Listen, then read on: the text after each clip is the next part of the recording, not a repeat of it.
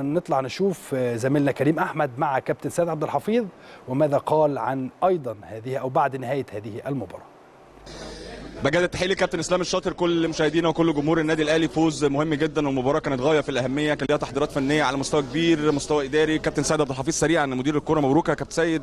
يعني نقدر نقول النهارده المباراة تم التحضير لها بشكل جيد المركز الثاني والطفرة اللي عاملها كابتن عماد النحاس النهارده صعبت المباراة بشكل كبير لكن كالعادة شخصية النادي الأهلي والأداء الكويس والأداء المطلوب للعيبة النهارده قدرنا إن إحنا نحسب المباراة. حطينا في الأجواء كابتن سيد النهارده الحمد لله طبعا يمكن قبل اللقاء أنا يعني آه، كنا متأكدين ان هتبقى مباراة صعبة ومباراة فيها سنة عصبية شوية وده وضع طبيعي يعني ما بين المركز الأول والمركز اللي بعديه على طول هو نادي المقاولين العرب فوضع طبيعي يعني.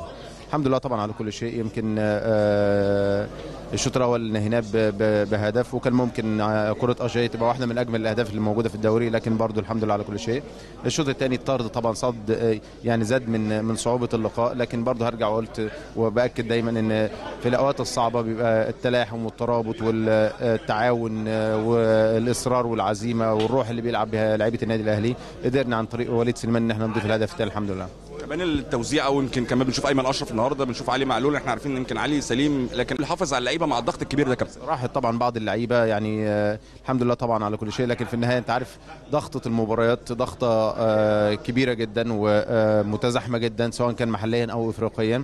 يمكن هنشم نفسنا شوية بعد آه، مباراة النجم الساحلي آه، ما اتأجلت 48 ساعة لحد يوم 26 وبعد كمان مباراة إنبي ما اتأجلت فده يعني هيدينا فرصة كويسة الحمد لله إن إحنا نلتقط انفاسنا شوية. إن شاء الله الرحمن نستعد لمباراة النجم الساحلي في بمنتهى التركيز وإن شاء الله الرحمن التوفيق يبقى حليفنا بإذن الله. عدم يمكن تأجيل مباراة انبي دي كان هيسبب مشكلة كبيرة جدا لأن الأمر كان صعب جدا يا كابتن سيد والتلاحم كان كبير ومباراة غاية في الأهمية. مش طبيعية بالتأكيد آه، يعني انت كونك إن أنت تلحم مباراتين في 72 ساعة بقوة المقاولين وصحوة انبي اللي موجودة في الحالي أو موجودة في الوقت الحالي مع كابتن حلمي طولان. وكمان تدخل على مباراة النجم الساحلي أعتقد إنها كانت هتبقى أمر صعب جدا يعني.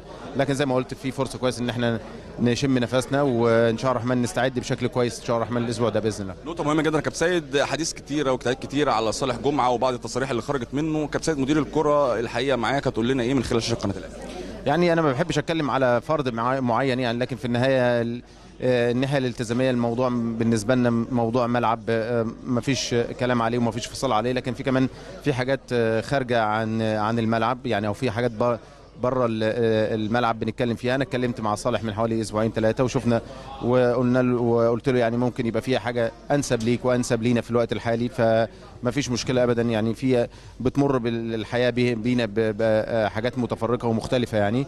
لكن في النهاية يعني آه، يعني زي ما أنا قلت يعني أنت بتتكلم على فرد في المنظومة. إن شاء الله الرحمن يكون بالنسبة له مش عايز أقول يعني آه، الفترة اللي جاية أحسن لكن لو في عرض مناسب أو في حاجة مناسبة أو في يعني آه، استعارة أو ما شابه ذلك يعني أنا مستنيه واتكلمت معاه من فترة زي ما قلت لك كده. وهو النهارده كان موجود آه، في النادي بيتمرن تمرينات آه، منفردة وهنشوف أنسب الحلول يعني. لكن في النهاية يعني بغض النظر عن المشاركة الفنية أو عدم المشاركة الفنية إحنا عندنا رولز موجودة عندنا نظام موجود لازم الكل يتبعه والكل يكون تحت طوعه. يعني شكرا. بنشكر أكيد الكابتن سيد عبد الحفيظ مدير الكرة بيه للنادي الأهلي.